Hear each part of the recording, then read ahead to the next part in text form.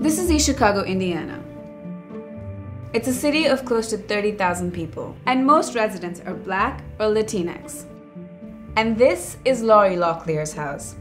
It looks like any other home in northern Indiana, but there's a problem. When you're doing a property search, there should be some kind of red flag that pops up saying, by the way, this house is in a Superfund site. This small town has been called the next Flint.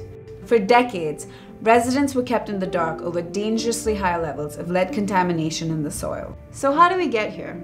This Rust Belt town was once home to a whole lot of polluting industries, including lead refineries and smelters. The EPA discovered unhealthy levels of lead pollution way back in 1985, but it took almost a quarter century for parts of East Chicago to be added to the agency's Superfund priority cleanup list. The worst polluters eventually agreed to pony up $42 million. Progress, right? But some polluted areas have been largely ignored, while residents of other areas have been quickly pushed out of their homes. An emergency eviction in the summer of 2016 uprooted more than a thousand residents. Many are still struggling to find affordable housing along with safe land and water.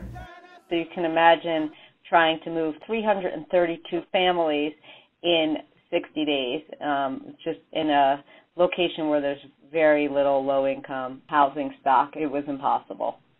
Evicted residents like Tara Adams and her family were left spinning after a sudden separation from East Chicago. No one is thinking about how we have to put our lives back together and how our children have to rearrange their lives.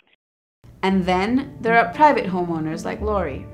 Her backyard is polluted enough to be eligible for cleanup, but her front yard is just below the threshold, leaving Lori to deal with the problem herself. Yeah, my house is on a Superfund site. Yes, the backyard has been cleaned, but the front yard hasn't, I'll have to disclose that to a potential home buyer. They can go to another city and buy a home with no contamination. Many cities across the country suffer lead contamination, and the EPA has more than a thousand Superfund sites on its priority cleanup list. Administrator Scott Pruitt recently visited East Chicago to highlight those efforts, which he claims will be a top priority for his agency. But President Trump's proposed budget would cut the Superfund program by $330 million, leaving fewer funds to help communities like East Chicago.